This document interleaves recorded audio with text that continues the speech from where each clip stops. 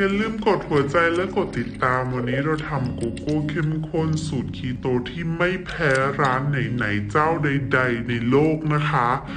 เราจะใช้นมพิเตอร์ซิโอ 50 ml นะคะ เอาไปเวฟด้วยความร้อนสูง 1 นาทีถึง 1 นาทีครึ่งนะคะ หลังจากนั้นก็เตรียมผงโกโก้ของเรานะคะ ใช้ผงโกโก้ 2 ช้อนโต๊ะนะคะ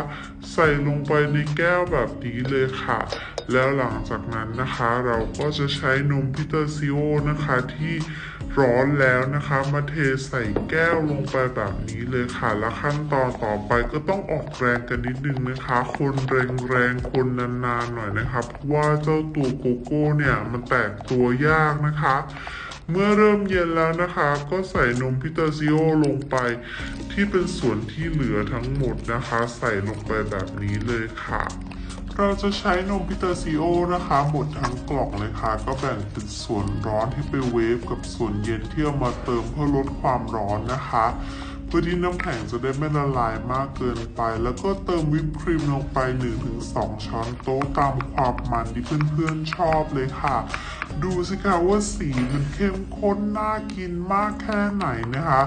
เมนูนี้นี่เราไม่แพ้ร้านที่ขายเลยนะคะ หากเพื่อนๆนะคะจะเติมสารให้ความหวานแบบผงให้เลือกเติมตั้งแต่ตอนที่มันยังร้อนๆนะคะเพราะบางคนตอนนี้คงไม่ละลายแล้ว แต่เราถนัดแบบหยดค่ะ เพราะว่ามันกะความหวานได้ง่ายแล้วก็ละลายดีด้วยนะคะ ต่อไปนะคะเราจะมาเตรียมน้ำแข็งใส่โถไว้ค่ะ เมนูพวกนี้จริงๆเราไม่ได้ทานบ่อยนะคะ เพราะว่าเราเป็นคนชอบทานน้ำซ่าๆนี่ก็คือเป็นครั้งแรกในรอบสี่เดือนเลยนะคะ ที่